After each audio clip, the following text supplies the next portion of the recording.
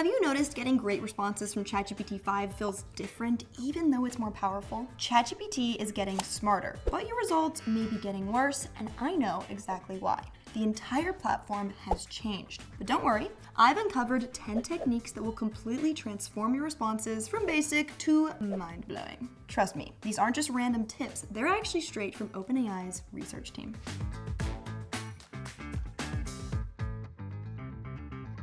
If there is one skill you need to learn in this day and age, it is how to write a good prompt. Good prompts will make any AI model leaps and bounds more effective. Before we dive into the new features, let's get you prepared with the seven step prompt guide straight from OpenAI's team. Number one, give it a clear role. Maybe it's a travel expert, a marketing assistant, or a business coach. This simple framing helps the model prioritize what matters most to you. Number two, give it the exact task that you want it to perform. So instead of tell me about travel destinations in Canada, try research the top five travel destinations in Canada that offer both outdoor adventure and luxury accommodation with local dining recommendations there is a very big difference between these two prompts. Number three, give it context. This could be in the form of documents, voice recordings, images, or just text. So for my travel example, I'd tell ChatGPT that I'm an adventure seeker who loves nature and local food, but I need reliable Wi-Fi. And I would also tell it to look out for tourist traps. Everybody travels differently, and chat doesn't know your style yet. Number four, define the reasoning approach by telling it the exact steps it should take and in what order. It's kind of like giving someone GPS directions instead of just an address. You're going to get to your answer a lot faster and more reliably. Number five, give it rules or constraints so it knows what not to do. For example, you could say, don't include major cities, or even something simple like, please don't add emojis. These constraints make your results a lot more focused. Number six, give it a stop condition so you can tell it exactly what done looks like. You could say, continue generating ideas until you have 10 viable options, or you could say, stop once you've provided examples for each categories. You're basically telling it when to give you the output. And of course, number seven, make sure to explain the output style that you want. This could be something like, give me an organized chart with the main reasons why each destination is a good option. You can also use something called XML tags to give your prompts more structure. So here's what an XML tag looks like. Now, test and refine until the output is exactly what you want it to be. If you're still confused in any way about building prompts, honestly just get ChatGPT to build out your prompt in this structure. Role, task, context, reasoning, rules, a stop condition, and an output style. Okay, here's a hack to make ChatGPT 5 even smarter. It actually helps it tap into higher reasoning powers. So you can use something called trigger words in your prompts. This is words and statements like think deeply, double check your work, or be extremely thorough. They all act as signals, and they encourage GPT-5 to use its more advanced reasoning capabilities, which can lead to more accurate and reliable results, especially for any high-risk tasks. My answers have been 10 times better using these statements in my prompts. Now, most of us have used ChatGPT as some kind of coach, whether that's for relationships, business, health, cleaning, or honestly anything. But did you know that ChatGPT can actually coach itself? Here's how to do it. Ask Chat to create a rubric basically a checklist of rules such as keep it simple, clear, or fifth grade level. After it writes its first draft, have the AI score itself against that checklist and point out any gaps. This multi-step process makes the outputs come out a lot more clear and reliable. It's kind of like the difference between somebody checking their work two to five times and someone just trusting the first draft. Make sure to tell it what to look for and ask it to rewrite after critiquing and repeat until it feels right.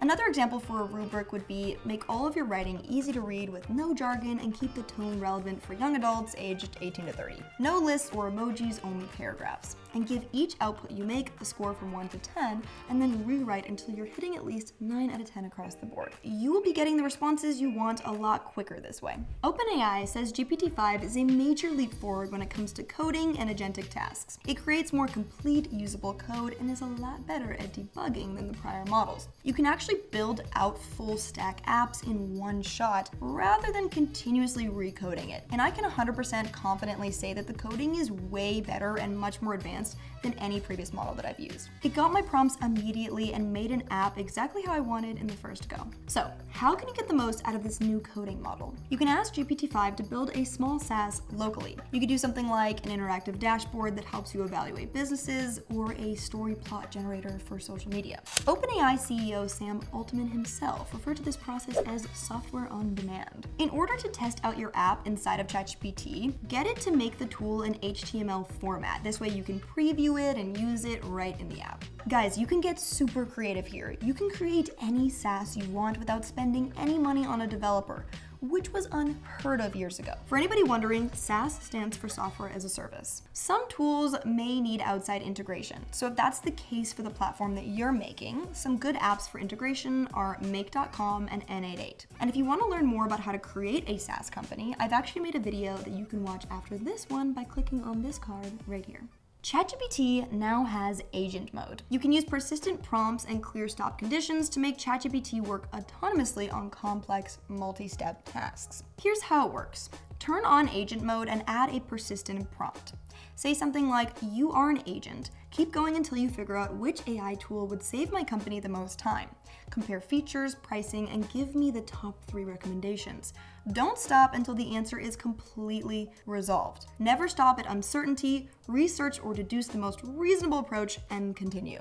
GPT-5 will work through entire complex workflows without constantly asking you for clarification, making it really nice for research, analysis, and any multi-step problem solving. The answer will take a lot longer though, so make sure to give it the time it needs. Chat has always been a good writing partner, but the main problem that I found is that the tone of writing was constantly the same. So I actually love to use GPTs from the app market like Monday because it would actually write to me in a more sarcastic human tone. But now you can choose the tone that you want ChatGPT to speak to you in. GPT-5 can be really great for writers because it deeply understands characters' emotions and motivations but it can also handle research and scientific details really well, which means it can switch fluidly between reasoning, web search, and multimodal tools, keeping you in creative flow mode. Now, let's talk about changing the tone of writing in ChatGPT. First off, if you prefer older ChatGPT models, you can actually switch between them, going from friendlier or more precise. If you go into settings and click personalization, you can actually personalize your ChatGPT with a specific tone, style, and even information about you. You can choose between default, cynic, robot, listener, and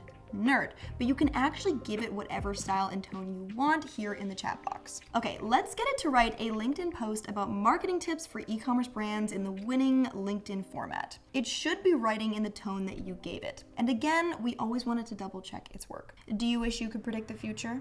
Well, you can't. I'm sorry. But ChatGPT 5 can. Well, Almost. It can reason through and find the most likely scenarios or outcomes using current data. So to do this, include think deeply and search in your prompts and ask it to outline multiple possible outcomes, list the assumptions behind them, and highlight risks or confidence levels. It will then hand you many research reports on things like business bets and which ones are worth it, or potential outcomes of a scientific experiment. It's kind of like a genie in the bottle, but in your phone. It gives you insider reports that you can use for strategic planning, which can really reduce risks and help you make better life decisions. ChatGPT's voice has been upgraded to sound more natural. Hey, what's up? Feel free to ask me about anything that's on your mind. And expressive. Hello, it's lovely to meet you. So you can actually use it alongside the study mode feature to get step-by-step -step help on any topic. It can quiz you, break down information, and guide you through explanations instead of just giving you an answer. You can even practice languages through spoken conversations or roleplay. You can choose from nine voices, set your language, and even use voice with custom GPTs. You can also record record and upload conversations for ChatGPT to analyze using the little record button in the bottom right next to the text bar.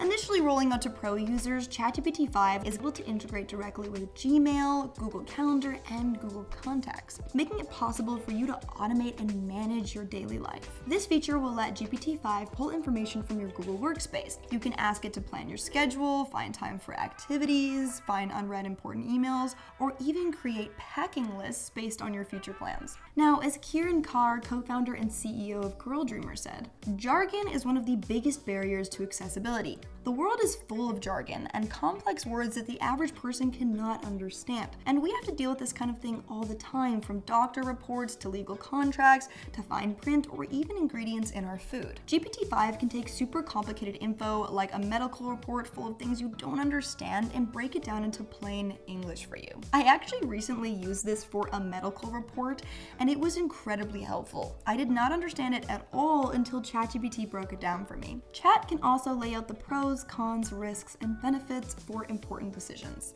Having somebody break down complex scenarios and having proper context can be super helpful when you're making big life decisions. GPT-5 gives you clearer explanations than you would usually get, with fewer errors, so you can actually understand what is going on. Another great way to use this is breaking down data from your Shopify store, especially things that you don't fully understand. Shopify can actually integrate with thousands of AI tools, and I even have a whole video on how to build out AI agents for Shopify using OpenAI. You can check that out right here. If you haven't signed up for Shopify yet, I've actually linked a free trial down below. Okay, we have to mention GPT-5's massive context window. It has a total context window of 400,000 tokens in the API, meaning it can keep track of entire books, long research papers, or big code bases without losing the thread. This expanded memory makes working with large data so much smoother than with previous models. There you have it, 10 hacks to make ChatGPT 5 work harder for you and get more done. Let us know in the comments which feature you were most excited to play with. I'm Charisma Shaluakina with Learn with Shopify, and if you like this video, make sure to hit the subscribe button to stay up to date on our weekly videos on all things business. Thank you so much for watching, and I will see you on the next one. Bye!